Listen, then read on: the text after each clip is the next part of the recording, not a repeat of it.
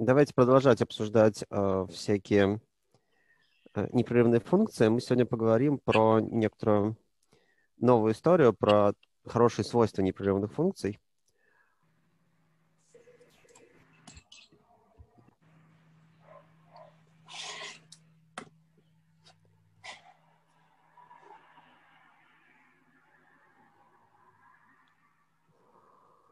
Uh, Значит, смотрите, в прошлый раз мы обсуждали, э, кто такие непрерывные функции и как они определяются, и как они доказывают, что функция непрерывна. А, в этот раз мы будем э, пожинать плоды своих трудов а, и э, значит, докажем несколько теорем, которые говорят, что если функция непрерывна, то она обладает а, некоторыми хорошими, приятными для нас свойствами. А, но а, на самом деле эти свойства обычно проявляются в той ситуации, когда функция не просто где-то непрерывна, а непрерывна а, там на каком-то достаточно большом множестве, и, и хорошо бы, если это множество было бы отрезком. Давайте я дам некоторые формальные определения. Значит, определение. Пусть у нас есть функция f, А, и есть какое-то множество x, а, а, принадлежащее области определения. Значит, я напомню, что так мы обозначаем область определения. Значит, d. И мы скажем, что функция f э, непрерывна на x,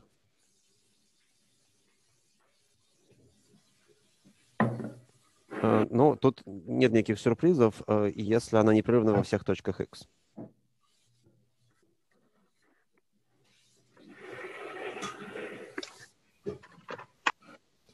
Э, значит, для всякого x маленького из x большого f непрерывно в точке x. Значит, до сих пор у нас было определение того, что такое функция непрерывна в конкретной точке. А, значит, помните определение непрерывности функции в точке? Нужно напомнить? Давайте. Да, давайте. Напомнить, окей. А, давайте я напомню.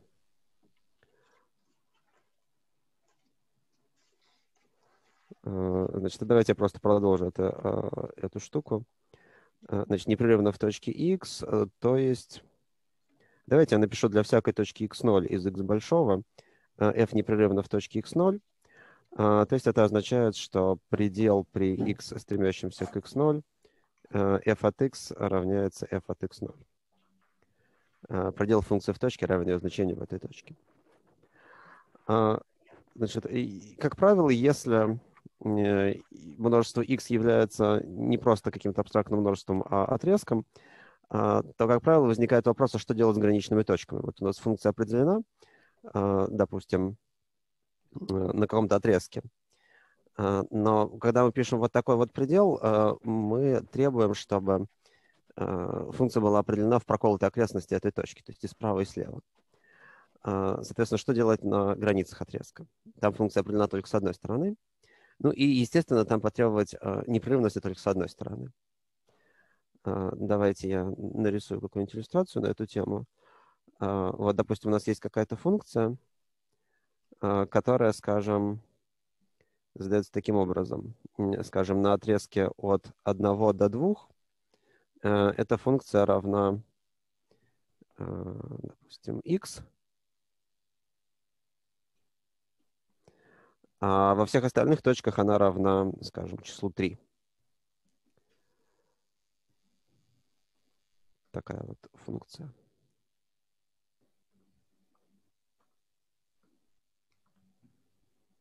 Значит, это у нас x, это y, и вот это график y равняется f от x.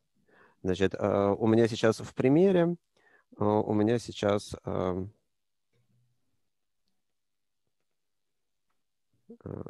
f от x это функция, которая равна x, если x принадлежит отрезку от 1 до 2. э, и число 3 э, в противном случае, если x не принадлежит отрезку от 1 до 2. А, вот, соответственно, про такую функцию хочется сказать, что она на отрезке от 1 до 2 непрерывна. Но при этом, если я задам вопрос, непрерывна ли она в точке 1, а, то какой будет ответ? Значит, является ли такая функция непрерывной в точке 1? Нет. Ну, не является. Тут явно виден разрыв. А, разрыв типа скачок. У нас левее от единицы значение 3, а правее от единицы оно близко к единице. Здесь единица, здесь тройка. Вот. Но, тем не менее, если мы как бы ограничим эту функцию только на отрезок от 1 до 2, э, то, в общем, мы совершенно не, не будем видеть никакой, никакого, никакого нарушения непрерывности. Вот мы увидим только вот этот кусочек, а, когда y равняется x, и там вроде с функцией все хорошо. А, поэтому, а, как правило, мы будем придерживаться такого же соглашения. Значит, если x является отрезком, на границах этого отрезка требуют одностороннюю непрерывность. То есть если у нас x это отрезок от a до b, э, то требуется, чтобы значение функции f в точке a э, равнялось бы пределу при x, стремящемся к a слева, а, и а, значение в точке B равнялось бы... Нет, неправда я написал, справа. А, значит, значение в точке А в левом конце равнялось бы пределу справа нашей функции, а значение функции в правом конце равнялось бы пределу слева.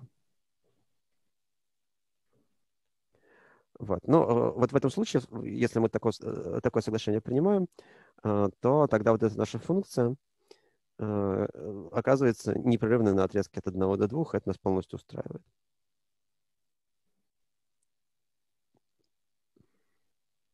Значит, есть ли какие-нибудь вопросы по этому определению?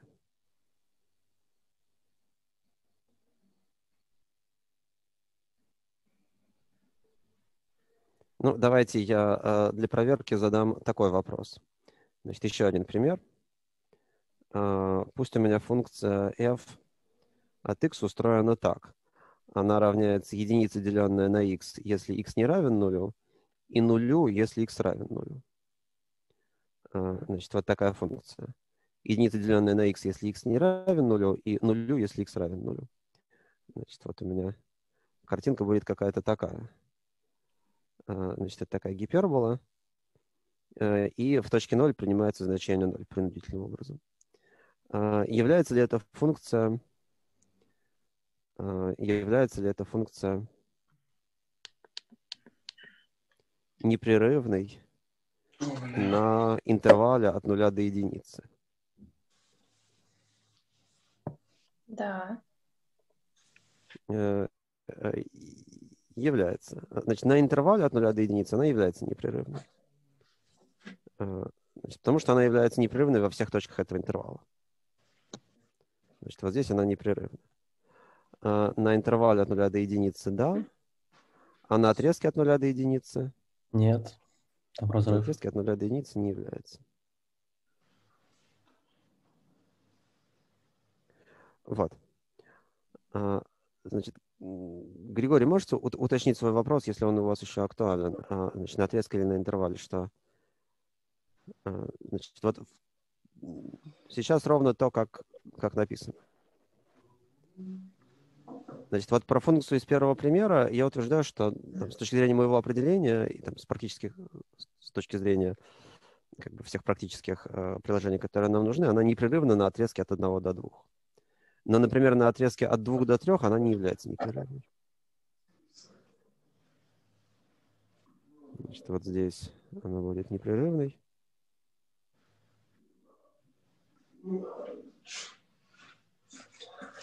А, например, на отрезке от 2 до 3 такая функция не является непрерывной.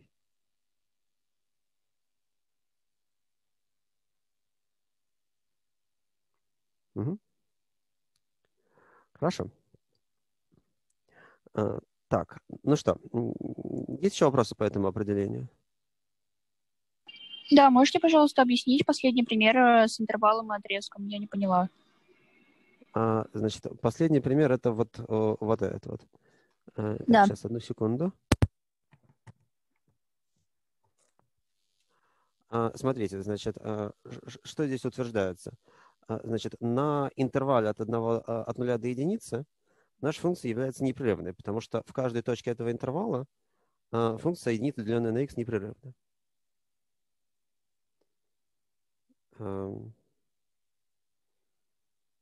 Ну, как бы, если x не равняется нулю, то единица, деленная на x, во всех этих точках непрерывна. А, Согласны с этим? Да. Мгм. Вот. а, Значит, проблема возникает в точке 0. И если я рассматриваю отрезок от 0 до единицы, то это означает, что точка 0 у меня включается. Я должен в точке 0 пош- э, тоже потребовать непрерывность, по крайней мере, одностороннюю. По крайней мере, вот слева непрерывность.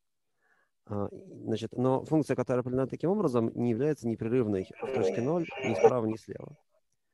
А, Потому что вот она уходит на бесконечность, когда приближается к нулю. И А, то есть потому что мы включаем точку ноль. да-да-да, совершенно верно. То, что мы включаем Да, точку 0. понятно. Ну, что-то громко, я выключу. М.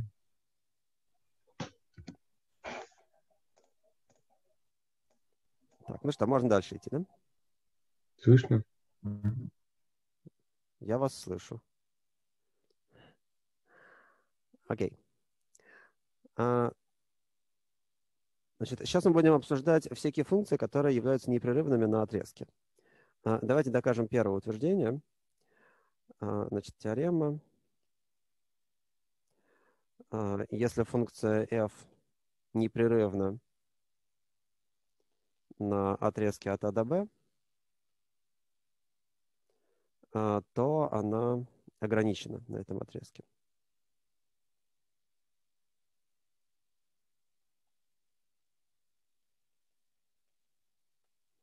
Э, Ну, что это означает? А, Значит, я напомню, что определение ограниченности для функций такое же, как для последовательностей.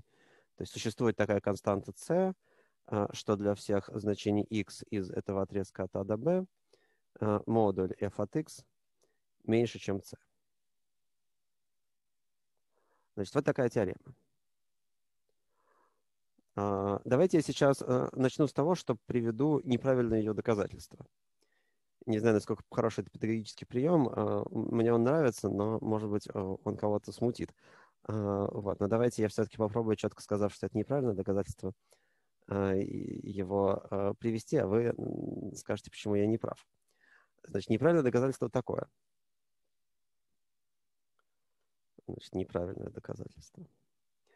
А, Значит, мы недавно доказывали, что если функция имеет предел в какой-то точке, то она ограничена в некоторой окрестности этой точки. А, Мы знаем, что наша функция а, имеет пределы во всех точках нашего отрезка, потому что она непрерывна во всех точках отрезка. Ну, значит, она ограничена во всех окрестностях. Ну, значит, она ограничена. А, Значит, давайте я это напишу. Значит, неправильное доказательство устроено так. А, Для всех x а, из отрезка AB э, f ограничена в некоторой окрестности x. Ну и, следовательно, раз она ограничена, так сказать, всюду, а, то значит она ограничена а, и на всем отрезке.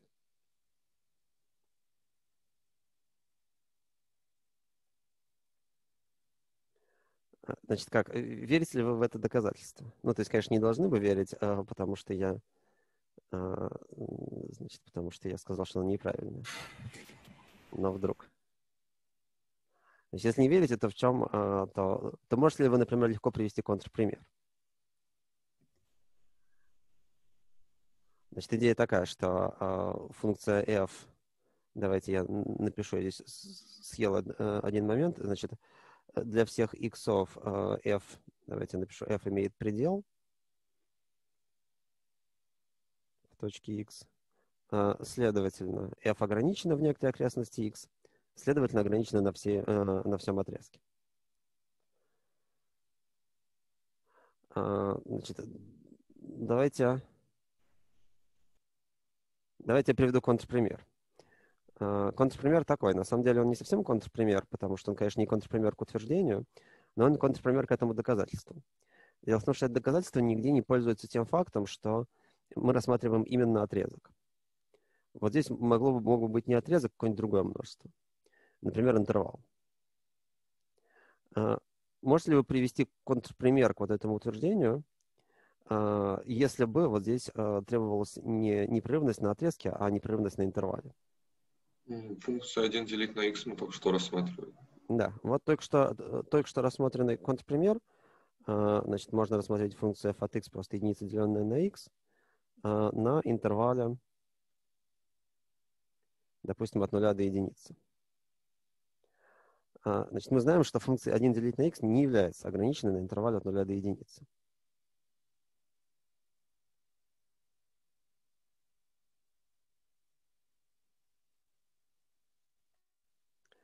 А, тем не менее, вот это рассуждение, которое я сейчас привел, а, прекрасным образом можно повторить и для интервала.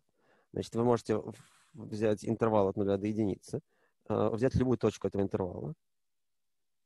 Ваша функция будет ограничена в окрестности любой точки этого. Э, значит, для всякой точки этого интервала найдется какая-то окрестность, в которой э, эта функция будет ограничена. Почему, тем не менее, она не является ограниченной на всем интервале?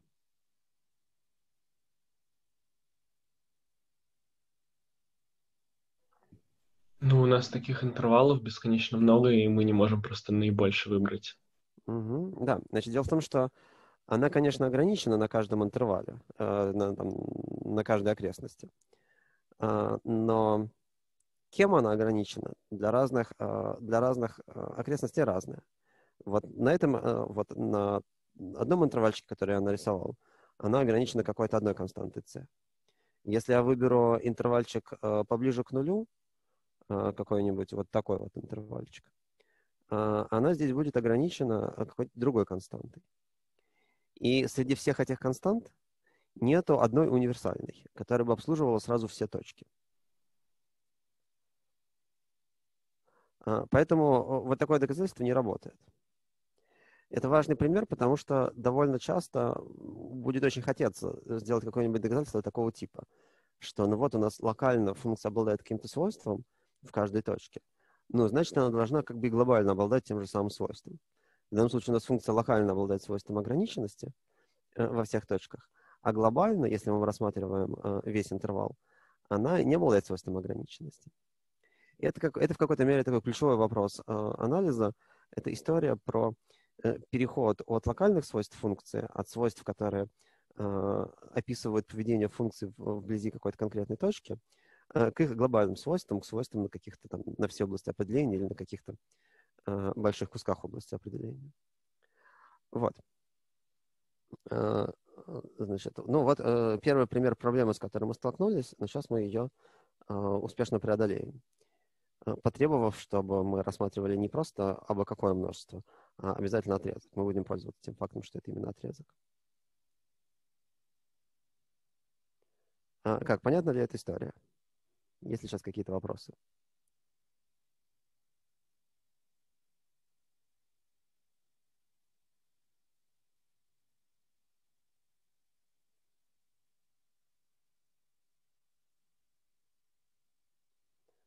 А, значит, максимум из ограничений э, для отрезка, ну вот непонятно, почему для отрезка существует максимум ограничений, а для интервала нет.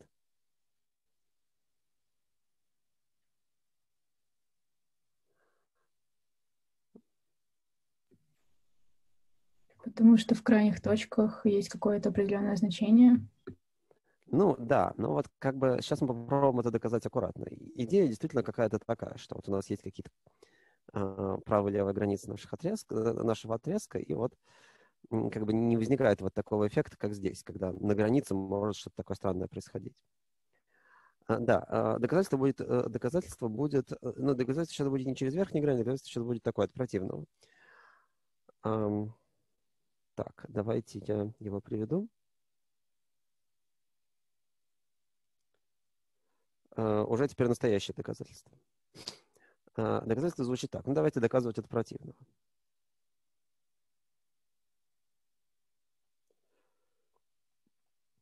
Uh, пусть f непрерывно на отрезке АБ, но не является ограниченной на этом отрезке.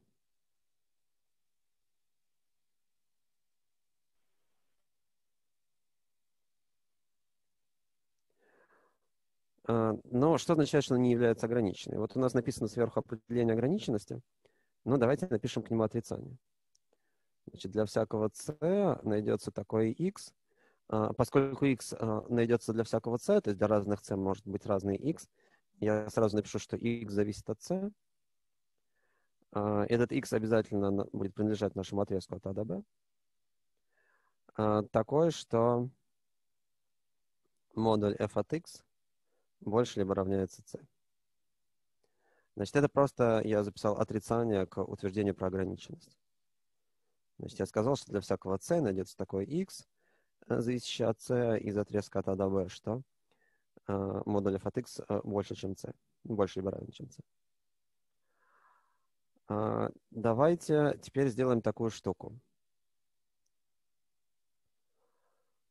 Значит, рассмотрим такую последовательность. Поскольку я C здесь выбираю сейчас сам, значит, мне вот это утверждение сейчас дано. Я верю в то, что оно верно. Это означает, что я здесь могу C выбирать самостоятельно. Давайте, вы, давайте будем выбирать C просто последовательно, последовательно натуральные числа. Значит, Cn а, а, равняется n. Тогда для каждого из этих cn найдется свой x. Значит, давайте скажем, что xn это есть x от uh, cn, то есть это есть просто x от n.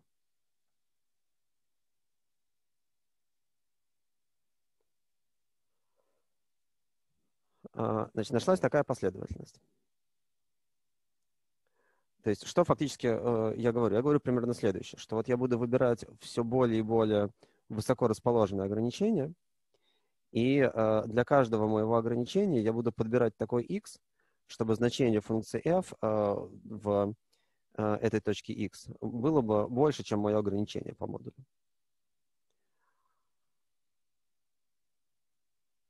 Э, как вы думаете, что я теперь хочу дальше сделать?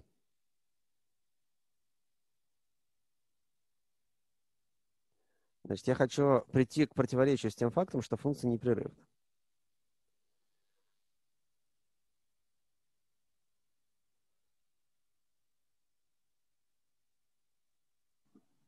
Ну, значит, у нее есть предел. А, да, у нее есть предел, только вот вопрос в какой точке. Ну, как бы у нее есть предел в любой точке. Но вот мне сейчас хочется что-то сделать с вот этой последовательностью. Как бы идея такая, что, смотрите, у меня получилась последовательность значений x, а, таких, что значение функции становится все больше и больше. Значение функции оказывается неограниченным. Ну, вот как это устроено. Давайте я еще раз а, картинку нарисую. Вот у меня есть отрезок от А до Б, а, и я выбираю, значит, я выбираю какое-то ограничение, например, c равняется 1. А, нашел значение x1, эм, нашел значение x1 такое, что на графике функции эта точка лежит выше, чем c, выше, чем единица. Потом взял c равное 2. Нашел какую-то точку x2, такую, что на графике функции а, соответственно, то точка лежит выше, чем c э, равняется 2 и так далее. А, значит, вот я хочу прийти к противоречию с тем фактом, что функция, что функция непрерывна. Значит, для этого мне хотелось бы, а, вот смотрите, если бы так оказалось, что вот эти вот иксы, они куда-то сходятся. Если бы оказалось, что у последовательности xn есть предел. Тогда а, что бы мы сказали?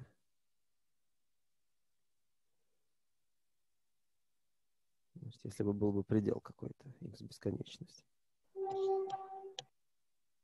Ну, вы сказали, что в окрестности этого x бесконечность все значения сходятся к какому-то конкретному c.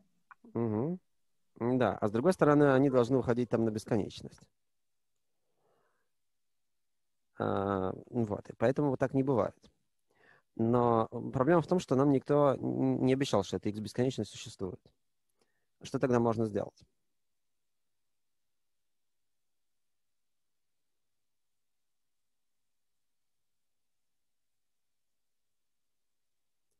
Значит, ну, у нас последовательность совершенно не обязана никуда сходиться. Она может вот как-то бегать по этому отрезку вправо-влево, как хочет. А а мы очень хотим сделать так, чтобы она сходилась. Как это сделать? Какие у нас есть теоремы на эту тему? Ну, у нас эта последовательность ограничена, значит, можно выбрать монотонную, и она будет сходиться. Да, возрастание любого. Угу. Да, давайте э, по, теорем, по, те- по теореме Бальцана-Верштрасса просто скажем, что э, просто скажем, что есть сходящаяся подпоследовательность. Значит, по теореме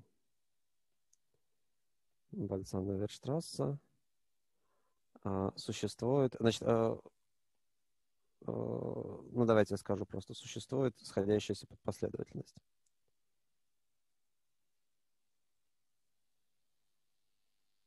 Значит, у нас существует такая подпоследовательность x nkt, а, которая сходится к какому-то x бесконечности.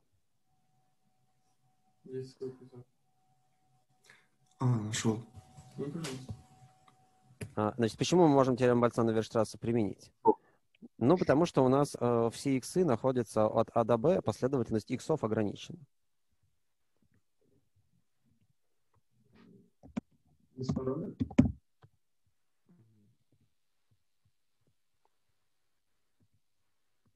Значит, у нас все xn лежат от b до a. Вот. а, Ну и, собственно говоря, почти все. Значит, э, давайте посмотрим. А, Что вы можете сказать теперь про x бесконечность? Значит, я хочу сказать, что x бесконечность тоже лежит на том же самом отрезочке. Почему так?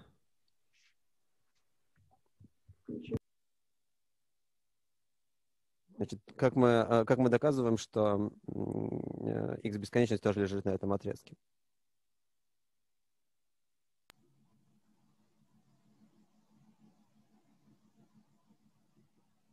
Значит, Просто предельный переход в неравенстве. Значит, мы знаем, что для всех точек x выполняется вот такое неравенство. x больше либо равняется a и меньше либо равняется b. А, Ну, значит, переходя к пределу, для а, предельной точки выполняются те же самые неравенства. А, Ну, хорошо, теперь смотрите. F. Что можете сказать про f от xn? Точнее, f от xnk.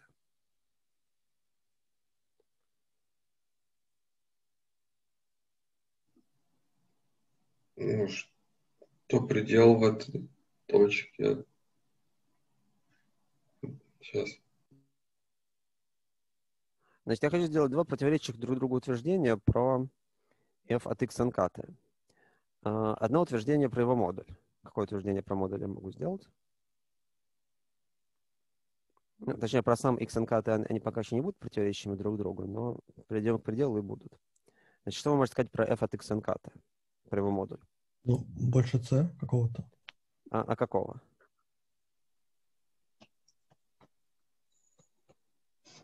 Значит, c у нас как выбирается? Ну, c от xnk. А, ну да, но ч- чему оно равно?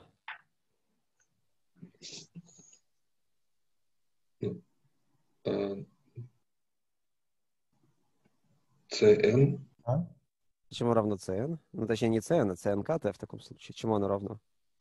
НК-тому. NK. Просто nk, да.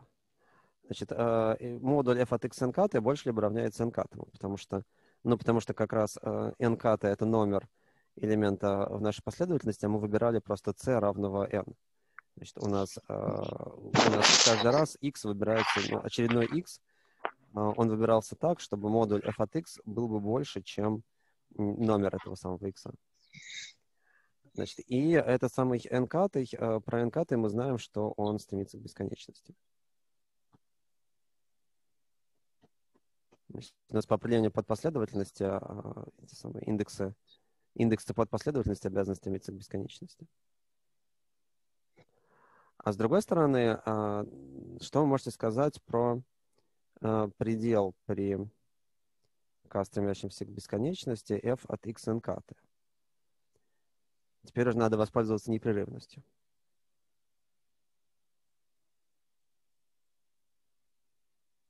А, Значит, почему, а, почему вот, вот эта штука верна? Ксения, правильно понял вопрос? Да, да, правильно. Ага. А, Смотрите, значит, мы выбирали, значит, как мы выбираем точки xn? Мы их выбираем так, мы говорим, вот давайте возьмем c равно единице. А, Точка x1 это такая точка, в которой значение функции f а, больше либо равно единице. Дальше мы выбрали c равняется 2. Э, Точка x2 это точка, в которой значение функции больше либо равняется 2. А, И так далее. Мы так для каждого а, значения c, а, которое мы выбираем просто натуральными числами, обязательно найдем а, x а, такое, что значение функции в этой точке x будет больше, чем а, это самое наше c. Просто в силу того, что мы предположили отсутствие ограниченности. А, Ну, не, не значение самой функции, а значение модуля, конечно. Я, а, значит, когда я говорю, опускаю этот модуль, а здесь он написан. Значит, э, теорема, э, те- те- теорема БВ, это я сократил Б- Бальцана-Верштрассе.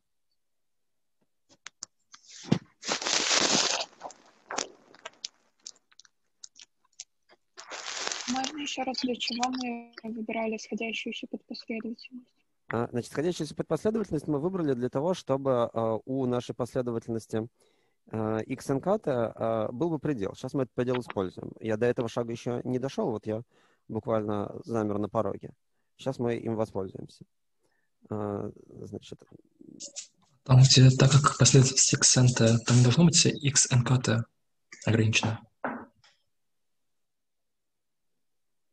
Сейчас. У меня изначально была последовательность xn. а, После этого я выбрал из нее подпоследовательность. Образовалась последовательность xnk. А, Значит, я знаю, что f от xnk, значит, nk это мой новый э, индекс. Э, Значит, я знаю, что этот самый, э, что f от nkt больше либо равняется nkt. Не совсем пока понял вопрос.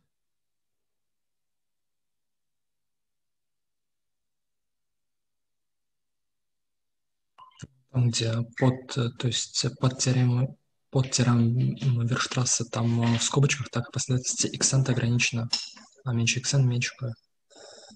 Э, Да, ну правильно, потому что теорема, у, у, у теоремы Бальцана-Верштрасса есть требование а, ограниченность, а, ограниченность моей исходной последовательности. Значит, вот, вот это вот в ск- в скобочках относится к тому, что теорема Бальцана-Верштрасса к нашей последовательности xn в принципе применима.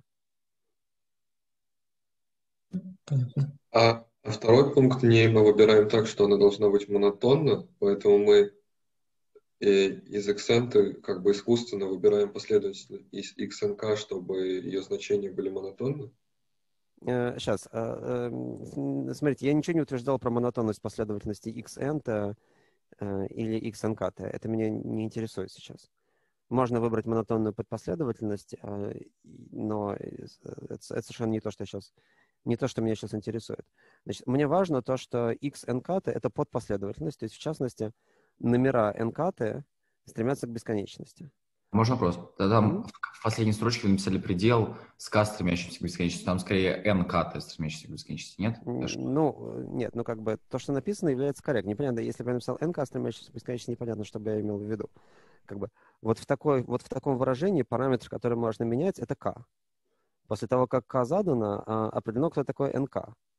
А, Поэтому здесь написан а, как раз правильный предел. То есть у нас меняется k, в зависимости от k меняется nk. k — это номер элемента в подпоследовательности. Значит, в зависимости от k меняется nk, это номер этого же элемента, только в исходной последовательности. И, соответственно, мы дальше можем понять, чему этот элемент равен. Так что нет, здесь правда написано.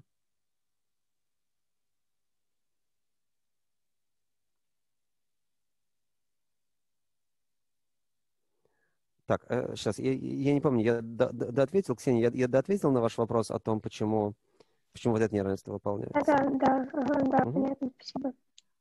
Вот. Ну, как бы, на самом деле, я, я могу сказать вот что. Я могу сказать, что на самом деле мои n-каты, они на самом деле всегда больше либо равны n. Потому что, ну как, вот у меня была моя исходная последовательность, я из нее повыкидывал какие-то элементы. А, понятно, что у меня а, нумерация от этого сдвинулась, так сказать, скорее в сторону уменьшение. То есть, когда я перехожу от новой нумерации к старой, то у меня номера только могут только возрасти. А, значит, вот такая, вот такая штука всегда верна. Вот, поэтому... При n больше нуля. М? При n больше нуля нет. Ну, n больше нуля, да. n, n, n у меня натуральные числа, да. И n тоже натуральные числа. Хорошо. Э, Итак, э, давайте посмотрим на вот этот предел. Чему он равен? Бесконечности. С одной стороны, он, равен, он должен быть равен бесконечности в силу вот этого условия. А с другой стороны, э, я знаю, что функция f непрерывна. А еще я знаю, что x nk сходится к x бесконечности. Что теперь нужно сделать, как бы, какой вывод можно сделать из этих двух фактов?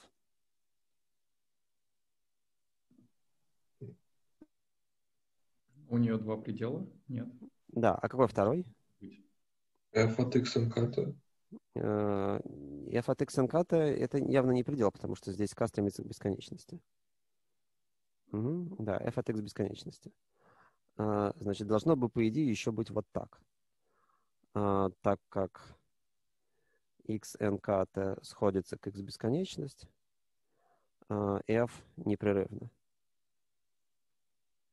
в точке x бесконечность. Значит, f от x бесконечность это совсем даже не бесконечность, это какое-то конкретное число. А, ну вот мы пришли к противоречию. С одной стороны, а, модули f от x nk должны расти, быть больше, чем любое ограниченное число. А с другой стороны, а, предел должен равняться какому-то конкретному числу. Так не бывает. А почему мы утверждаем, что у нас f от x бесконечности это какое-то конкретное число? Ну как, смотрите, я изначально предположил, что у меня функция f определена на отрезке от a до b. x бесконечность лежит на этом же самом отрезке. Но что означает, что функция определена? Это означает, что она а, в каждой точке отрезка принимает какое-то конкретное числовое значение. У вас а, функция не может принимать значение, равное бесконечности. Она может стремиться к бесконечности, но она не может принимать значение, равное бесконечности.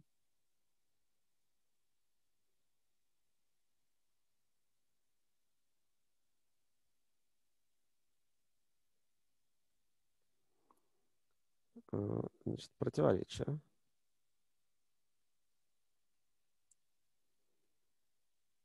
Ну, давайте я напишу так. А, значит, вот, вот это вот утверждение, я назову его звездочкой. А, значит, звездочка говорит, а, что функция f не является ограниченной ни в какой окрестности. Точки x бесконечность, а вот это условие, о том, что у нее есть предел, э, говорит об обратном.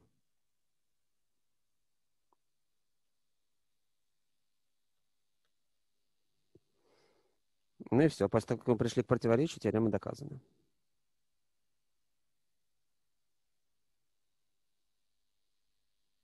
Давайте посмотрим а, на все доказательства.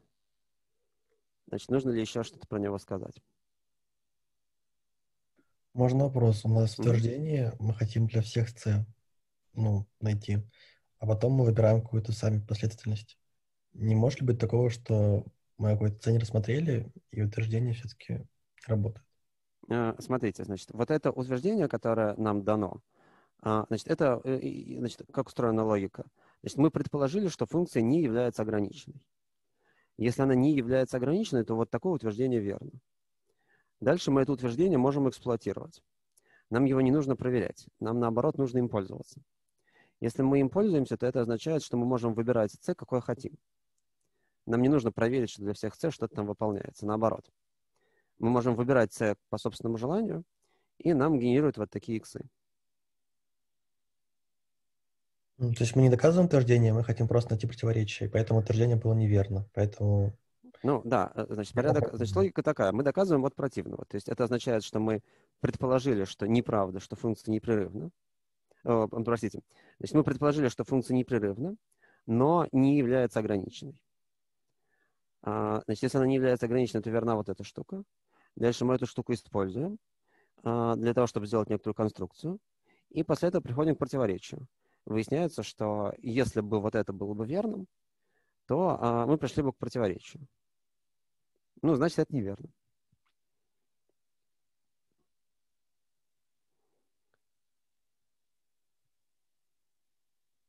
Значит, а, вопрос, почему x бесконечность это какое-то конкретное число. А, по теореме Бальцана Верштрасса а, у нас есть, значит, смотрите, у нас есть последовательность иксов. Все иксы лежат на отрезке от А до Б. Значит, это последовательность ограниченная. У ограниченной последовательности есть сходящаяся подпоследовательность, как мы доказывали по теореме Бальцана Верштрасса. Помните, там делили отрезок пополам, выбирали половинку, на которой лежит бесконечно много членов последовательности и так далее. А, вот она нам тут пригодилась. Значит, мы знаем, что мы можем выбрать, мы знаем, что мы можем выбрать сходящуюся под последовательность. Она будет сходиться к какому-то конкретному числу. К какому, я не знаю. Но я это число обозначил через x бесконечность.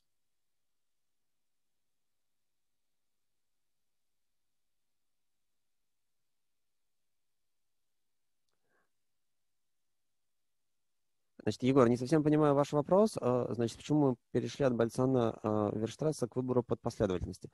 Теорема Бальцана Верштрасса в точности утверждает, что а, существует подпоследовательность, которая имеет предел.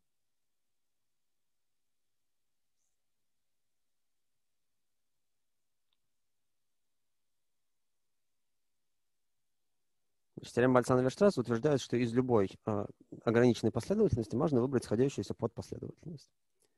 Это мы и используем здесь. Так, давайте еще вопросы.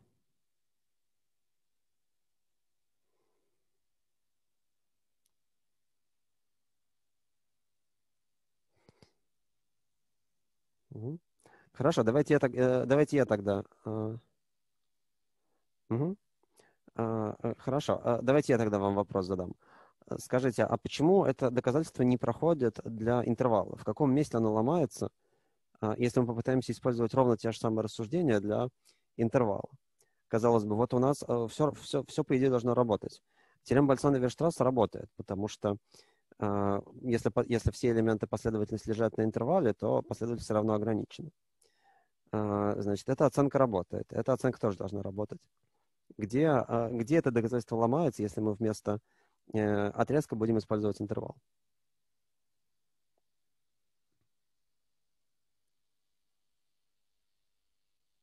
Но мы не можем получить оценку на x бесконечность, то есть мы не можем сказать, что оно меньше или равно b, нет?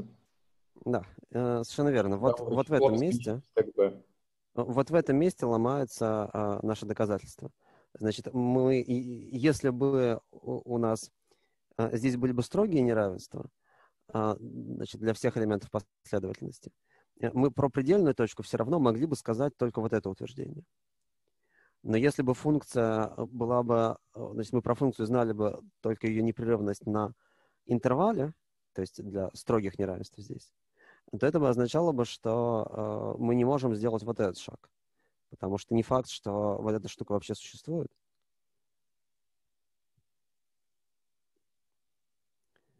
А,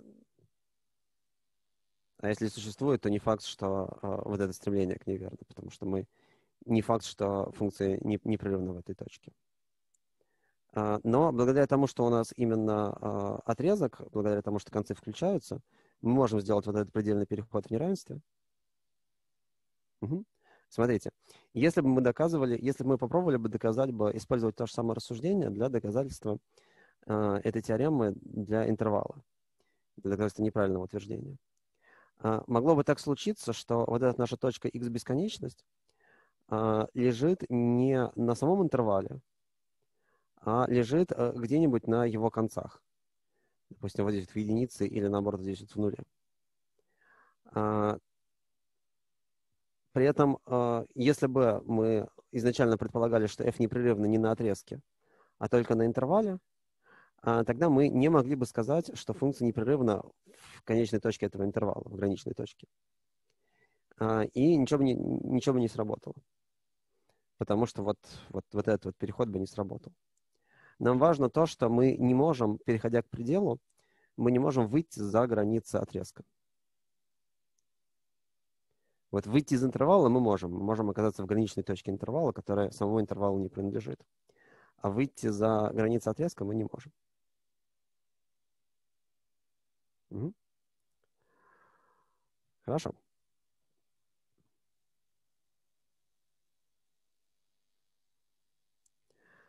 Так, а, давайте, а, давайте я докажу еще одно утверждение.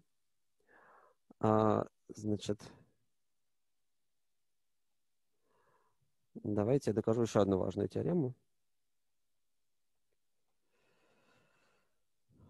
Теорему о корне непрерывной функции.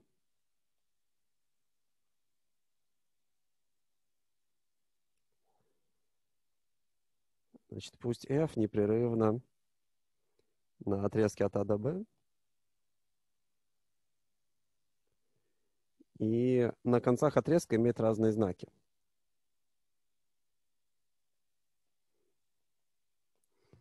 На концах отрезка принимает значение разных знаков.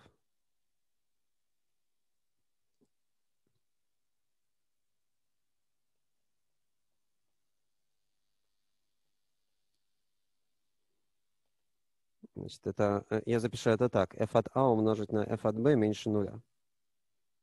Это эквивалентно тому, что на концах отрезка разные знаки.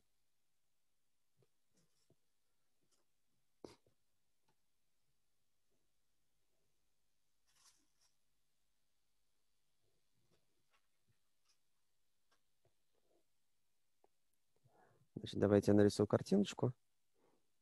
Значит, вот у меня есть э, какая-то функция, у меня есть какой-то отрезок.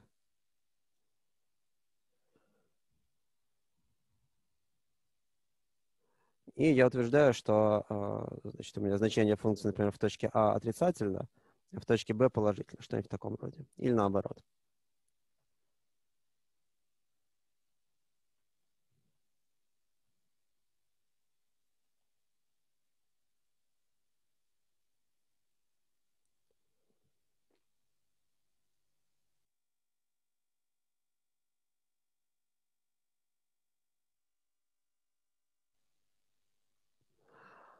Значит, я утверждаю, что тогда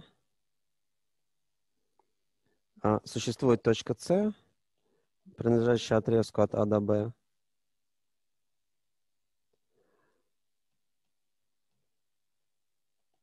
такая, что f от c равняется нулю.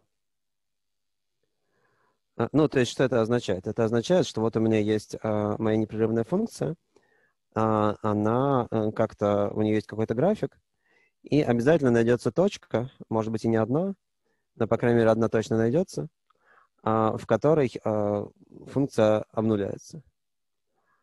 То есть, иными словами, двигаясь а, непрерывно из отрицательных значений в положительное, мы в какой-то момент должны принять значение, равное нулю.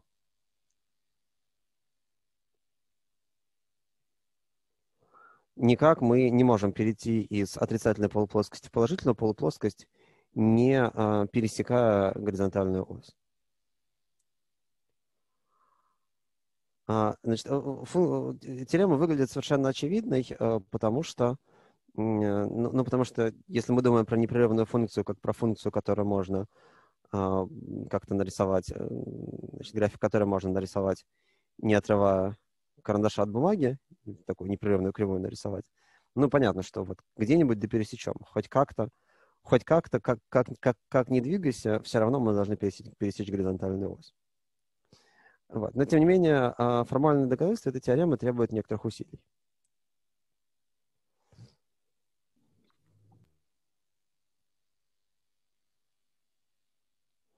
Значит, давайте я ее докажу.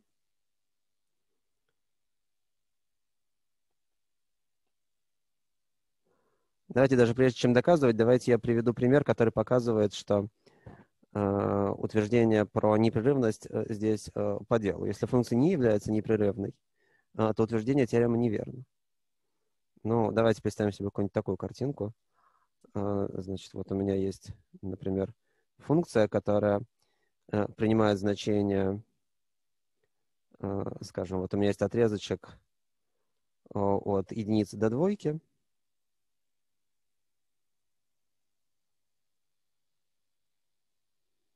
Ну, Давайте даже, э, даже не, не до двойки, а до тройки. И можно представить себе функцию, которая, например, а, равняется x для всех точек до 2 а, включительно, а дальше она равняется, например, а, минус x. Вот такую вот функцию. Значит, f от x равняется x, м, где x э, не превосходит 2, или минус x, где x больше 2. Что здесь вот есть двойка. Вот так вот эта штука выглядит. Значит, вот здесь видно, что несмотря на то, что функция принимает значение разных знаков на концах отрезка, а, значит, никакого корня у нее нет. Утверждение про утверждение про непрерывность тут по существу. Ну, давайте теперь докажем нашу теорему. А, Доказательство будет а, использовать тот же прием, который использовался в доказательстве теоремы Бальцона-Верштрасса, а именно деление отрезка пополам.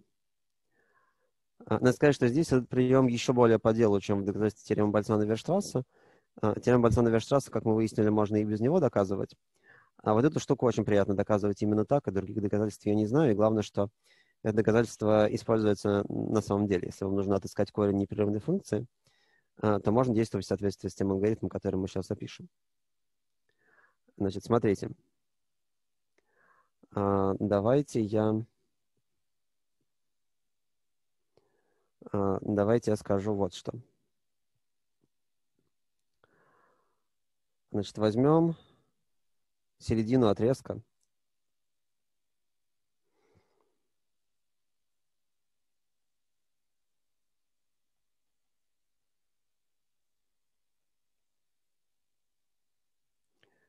А, Значит, давайте я обозначу наш исходный отрезок от А до Б, обозначу его через И1. Значит, пусть вот этот отрезок называется И1. Я возьму середину этого отрезка.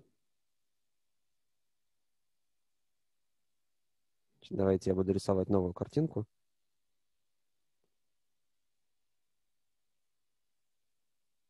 Значит, вот у меня был изначально какой-то отрезок от А до Б. Значит, и он же называется отрезком И1. А, теперь я взял середину этого отрезка. И, ну, давайте как-нибудь ее обозначу. Пусть она называется точкой x1.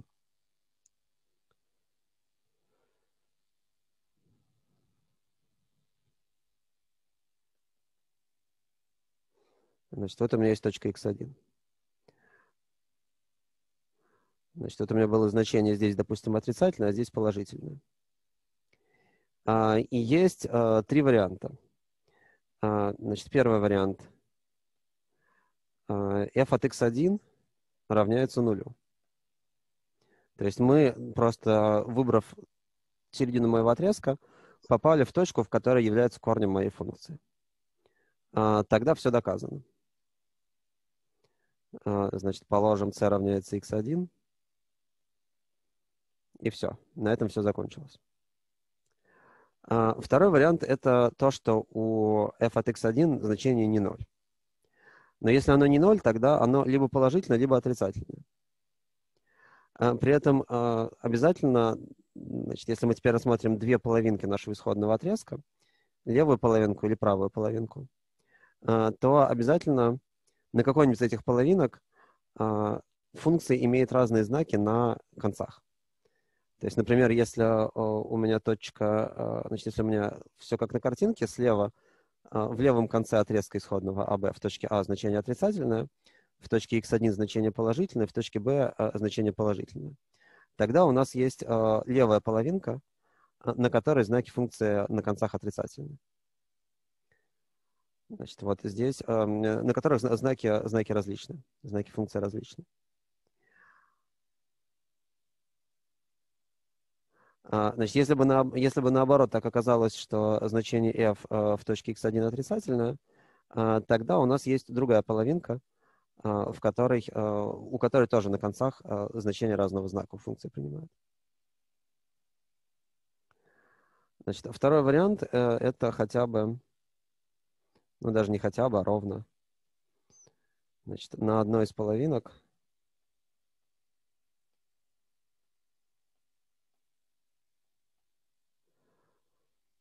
э, функция принимает разные знаки на концах. Значит, принимает значения разных знаков.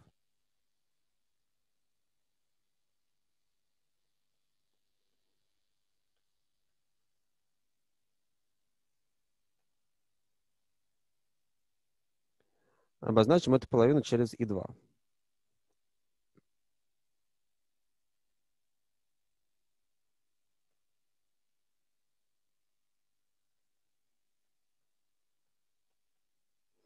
Значит, ну вот, например, для той картинки, которая у меня сейчас нарисована, у меня в качестве И2 должна быть правая половина. Значит, вот это будет И2.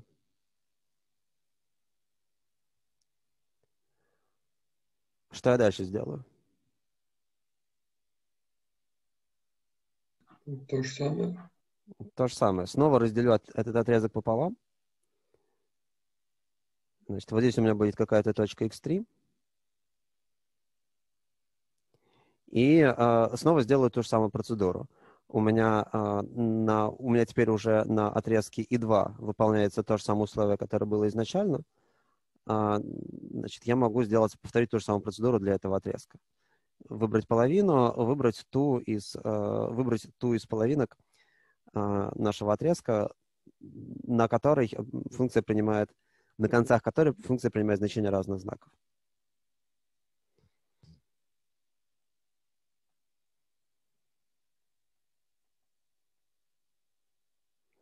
А, Значит, повторим для нее те же шаги.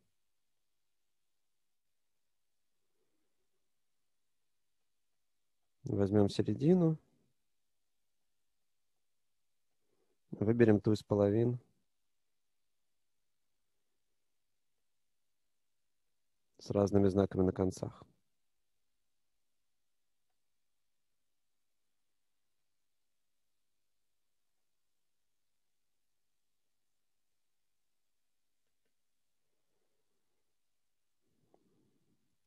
Мы получили последовательность сложных отрезков.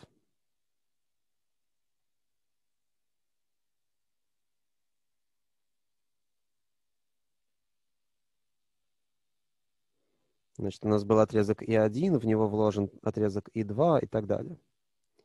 А, Длины этих отрезков стремятся к нулю, потому что они каждый раз уменьшаются вдвое.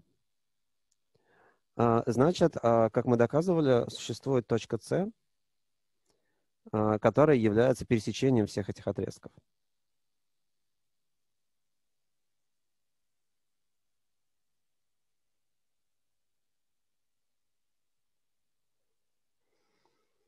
То есть, смотрите, как бы, что я хочу сделать? Я хочу поймать мой корень. Как я его ловлю? Но вот я вижу, что а, у меня функция изначально принимала а, значение разных знаков на моем исходном отрезке. А, делю этот отрезок пополам. А, выбираю тот из, ту из половинок, на которой, а, по моему мнению, этот корень лежит. А именно а, такое, что для этого отрезка тоже значение разных знаков. И, и так далее. Я каждый раз выбираю тот, тот отрезок, на котором мой корень лежит. Ну, по крайней мере, я верю в то, что это корень, и сейчас докажу, что это действительно корень. А, В конечном итоге а, я вот путем последовательного такого выбора отрезков поменьше, поменьше, поменьше, а, значит, прихожу к какой-то одной точке С. Давайте докажем, что точка С действительно корень. Значит, докажем, что С корень. То есть f от c равняется нулю. Ну, смотрите. А, Значит, вот если смотреть на ту картинку, которая нарисована, то смотрите, что у меня будет происходить. У меня изначально в левом конце принималось значение отрицательного знака. А, Но тогда во всех левых концах тех отрезков, которые я буду строить, значение будет тоже приниматься отрицательного знака. А в правых концах, наоборот, оно будет, будет, будет приниматься значение положительного знака.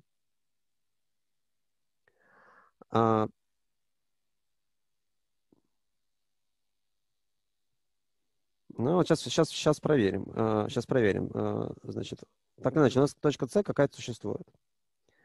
А, Причем, если вы помните, а, как мы доказывали теорему про существование этой самой точки С, а, мы знаем, что левые и правые концы наших отрезков сходятся к этой самой точке С.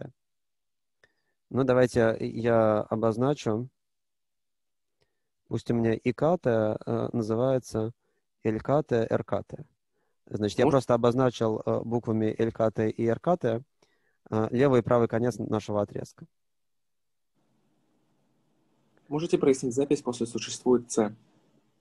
А, Значит, существует такое С, что пересечение всех отрезков ИКТ, значит, это такое большое пересечение, большой знак пересечения, как бывает большая сумма, а это большой знак пересечения по всем натуральным значениям К от ИК. То есть это множество тех точек, которые принадлежат всем отрезкам ИК.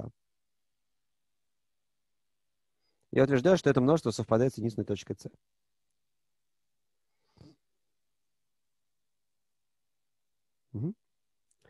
Вот. Значит, если теперь обозначить, э, сказать, что у отрезка икатова левый конец называется ЛК, а правый РК, э, то ЛК стремится к С, и РК стремится к С.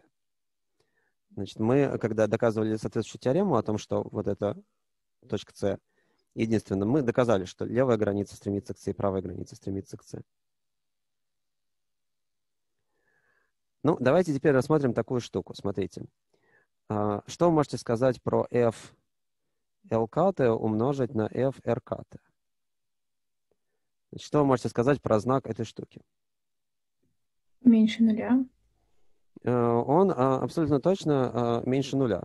Значит, мы договорились с тем, что когда, как только мы встретим ноль, э, если вдруг, э, если вдруг один из, одно из, одна из наших вот этих вот точек серединок отрезков окажется точкой, в которой функция принимает значение 0, то на этом мы процесс остановим просто потому, что дальше не нужно. Вот мы нашли наш корень. А, а с другой стороны, мы выбирали эти отрезки так, чтобы знаки были разные на концах. Поэтому это произведение обязательно меньше нуля. А, давайте теперь э, перейдем к пределу. А, предел при k, стремящемся к бесконечности, f от LKT на f от RKT. Значит, чему равняется вот такой предел? Это есть произведение пределов. Если эти пределы существуют. А, Теорема вложенных отрезков так и называлась. Теорема вложенных отрезков. Или лемма вложенных отрезков.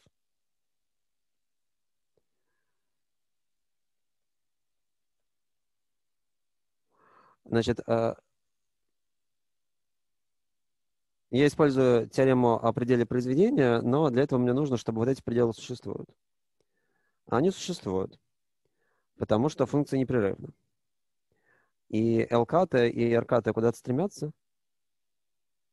Значит, ЛКТ стремится к С, РКТ тоже стремится к С.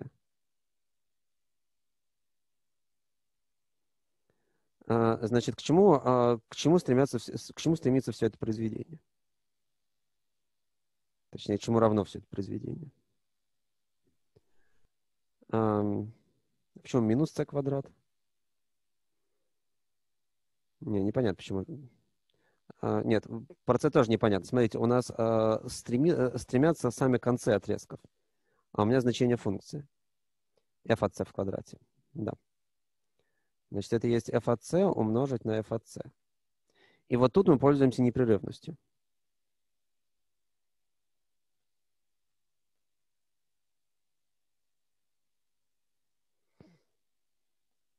Значит, это есть f от c в квадрате.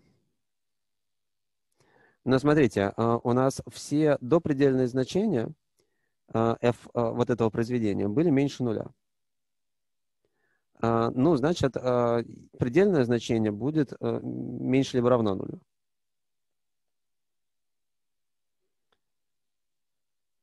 Теперь смотрите, что мы выяснили. Мы выяснили, что f от c в квадрате меньше либо равно нулю. А В каком случае такое может быть, чтобы квадрат вещественного числа был бы меньше либо равен нулю? ФЦ равно нулю. Когда оно равно нулю. Никаких других вариантов нет. А, а можно еще раз значение э, меньше или равно нулю?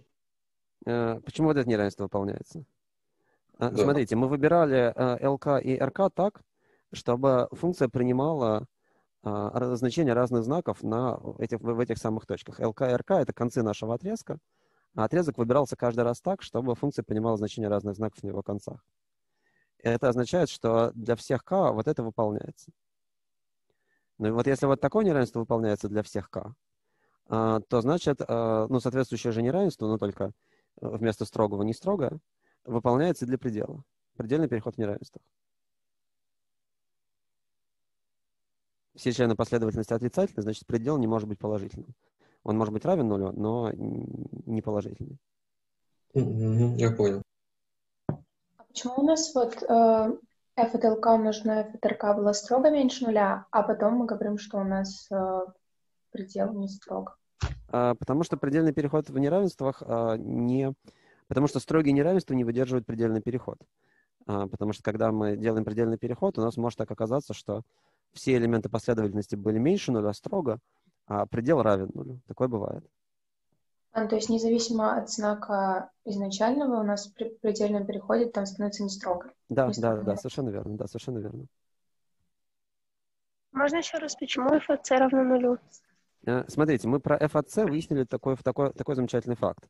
Мы выяснили, что его квадрат, э, будучи равен вот такому пределу, э, меньше либо равен нулю. А с другой стороны, он квадрат, Ага, да, все, да, понятно, все. поэтому он равен нулю. А можно вопрос? Почему мы Давайте. делаем такой красивый переход от строгого неравенства к, я не очень понял, к тому, что меньше либо равно нулю? Э, Ну, предельный переход в неравенство так, э, так работает. Мы знаем, что все элементы моей последовательности, вот такой последовательности, строго меньше нуля. Но, значит, про предел мы можем сказать, что э, он меньше либо равен нулю. Ну, бывает такое, что все элементы последовательности отрицательные, а предел равен нулю. Например, последовательность минус единицы, деленная на n. Понятно.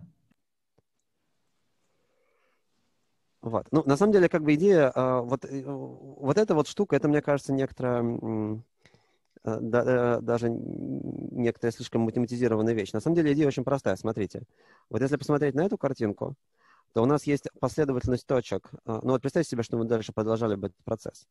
У нас бы слева функция принимала бы вот в этих точках, в концах отрезков, всегда отрицательное значение, а справа она принимала бы всегда положительное значение.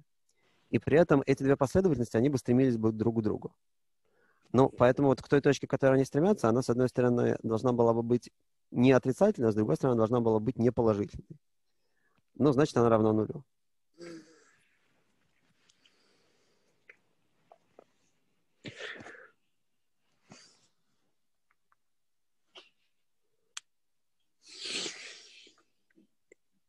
Так, ну что, еще вопрос? э, а, несколько как бы корней на вот этом отрезке. То есть мы как бы уменьшаем отрезок или просто э, А, Теорема ничего не говорит про то, сколько их. Она говорит, что корень существует. А, И выдает некоторую процедуру, как найти какой-нибудь из них. А, Конечно, может так оказаться, что у нас есть другие корни, те, которых мы не нашли. понятно. Спасибо. На практике, конечно, когда вам нужно найти все корни, да, вы их каким-то образом локализуете. Ну, как бы у вас нет гарантированного способа найти прям все корни, если вам функция задана как-то, а, и вам нужно численно найти все корни. Но, как правило, можно как-то локализовать их, понять, где они примерно находятся, а дальше, например, э, тем же самым делением отрезка пополам, их найти там, с любой заданной точностью.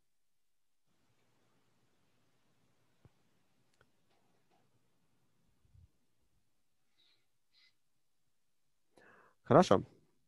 Ну что, у нас э, так, э, значит, э, почему если LK стремится к C, то F от LK э, тоже стремится к F от C?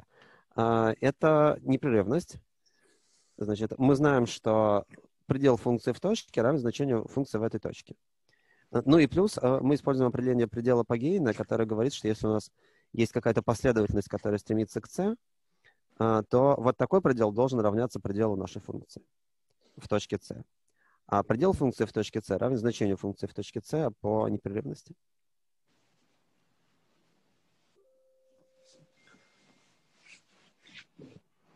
Таня, ответил?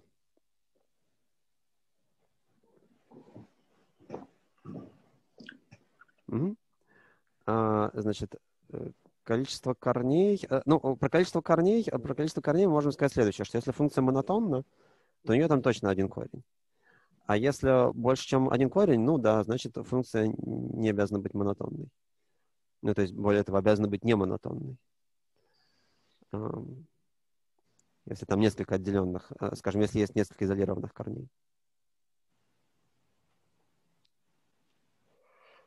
Получается, мы доказали непрерывность функции, э, когда взяли вторую половину отрезка и исследовали его. Сейчас, мы использовали, значит, э, непрерывность мы предполагаем. Э, Нам сказано в теореме, что если функция непрерывна, тогда, э, э, значит, она обладает корнем. Если функция непрерывна и принимает значение разных знаков на концах. Мы это использовали. Сейчас. А потом? А, Использовали мы это вот, вот, вот, вот, вот в этом месте. А доказали мы в конечном итоге то, что корень существует.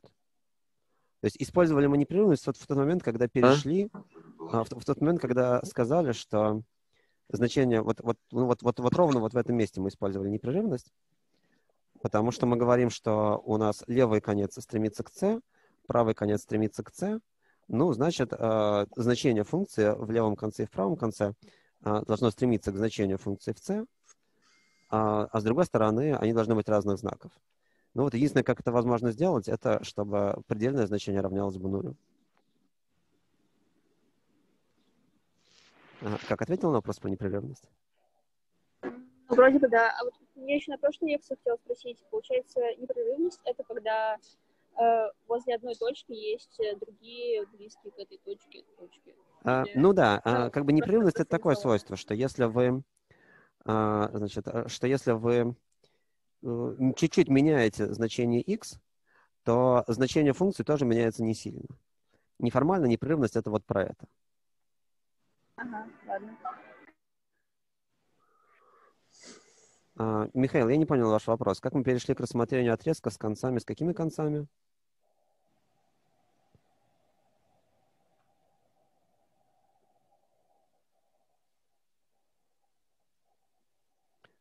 Значит, почему нужно брать именно отрезок, а не интервал? А, Значит, ну, про интервал не совсем понятно, как вы будете дальше действовать.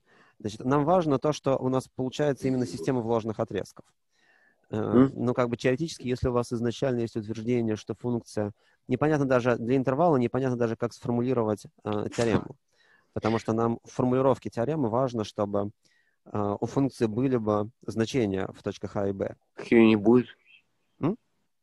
Если функция непрерывна на интервале, а, но при этом не непрерывна на отрезке, ну, тогда теорема просто не сработает, потому что, а, потому что, ну, потому что у нас не будет, потому что у нас предельная точка, точка С может оказаться в конце отрезка, и для нее, соответственно, она не будет принадлежать интервалу непрерывности, а если она не будет принадлежать интервалу непрерывности, для нее вот этот переход не пройдет.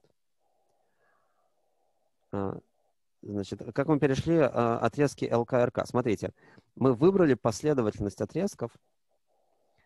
А, Значит, мы выбрали последовательность отрезков таким образом, а, вот в со- в соответствии с нашей процедурой. Значит, брали исходный отрезок, делили пополам, выбирали одну из двух половинок а, и так далее. А, Значит, дальше. а, Получилась вот такая последовательность отрезков. Я обозначил концы этих отрезков через ЛК и РК. Мгм. Сейчас скажем.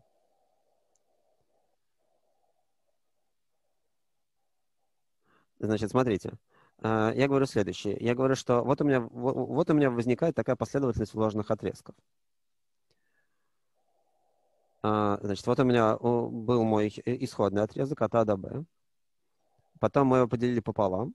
Здесь, допустим, x1. Допустим, я взял правую половинку. Значит, у меня получился вот такой новый отрезок. Вот это И2. А, Я его снова поделил пополам. А, Дальше а, я снова должен взять одну из двух половинок в зависимости от того, где там знаки разные. А, Ну, давайте считать, что я возьму там вот, вот эту половинку. Снова делю пополам. Беру, допустим, вот эту половинку. Снова делю пополам. Беру, например, вот эту половинку и так далее. А в результате у меня получается, значит, у меня отрезочки все время сжимаются, сжимаются, сжимаются, и у них э, и существует единственная точка С, которая принадлежит всем этим отрезкам. Вот эта самая точка С э, и является искомой. Значит, вот, вот это вот утверждение, это утверждение о том, что есть единственная точка, которая лежит во всех, во всех, во всех моих отрезках. А, Значит, если вы э, хотите вспомнить поподробнее про эту лемму, я выложил конспект, а там, правда, пока иллюстрации нет, но конспект той лекции, где эта лемма доказывается, сейчас уже выложен на странице курса.